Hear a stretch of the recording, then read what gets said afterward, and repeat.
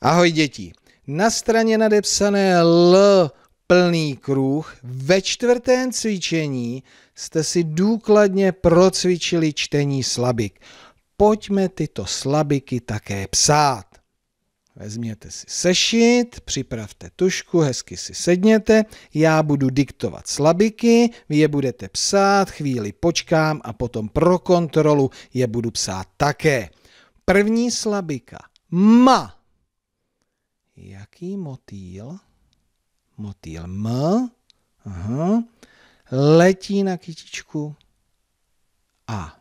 Takže teď budu psát já pro kontrolu. Vy už to máte. Píši slabiku ma. Motýl M.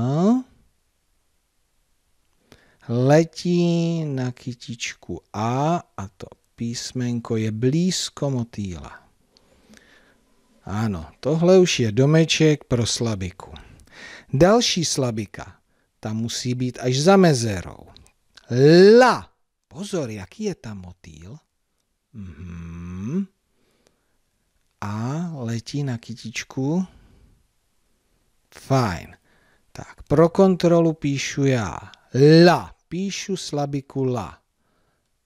Motýl letí na kytičku A. Výborně. Mezeru jsem vynechal. Vy také. Fajn. Další slabika. Jde nám to. Zase mezera. Pozor. Důkladně poslouchejte. La. Mhm. Přehnal jsem to, že jo? Ale abyste to slyšeli. Motýl a letí na kytičku, ale pozor na jakou. Mhm, nezapomněl. Fajn, takže pro kontrolu. Píšu slabiku lá.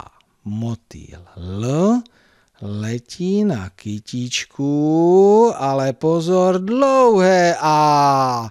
Ano, je to lá. Tak ještě dvě slabiky napíšeme. Tak má. Aha, Podobný problém jako tady, jenže jiný motýl. Mhm. Motýl M letí na kytičku. Dlouhé A. Mhm. Tak teď já mezeru vynechám. Motýl M letí na kytičku dlouhé A. Chtěl jsem napsat slabiku má. No a poslední slabika la. A teď už nebudu moc radit, to už jsme psali. La. Mhm. Hm? Hm, tak. Mezeru máte? Tak. A moje kontrola pro vás. La. Výborně. Takže si celý diktát, tohle už je diktát, přečteme a kontrolujte si, jestli tam máte správné slabiky a taky, jestli tam nechybí žádná čárka.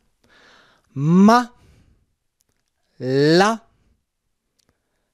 la, ma, la. Výborně a můžete si zkusit třeba sami sobě diktovat další slabiky na další řádky.